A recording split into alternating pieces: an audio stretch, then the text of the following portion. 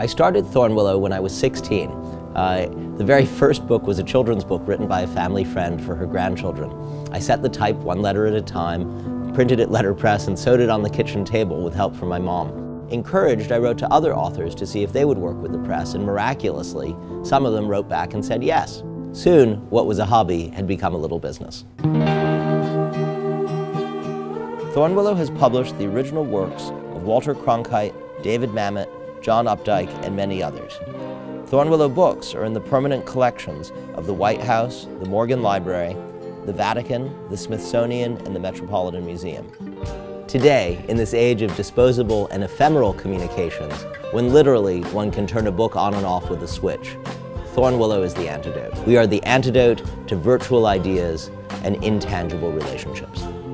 We are dedicated to making books that are beautiful, that you can see and feel and touch, and that will live on long after we are gone.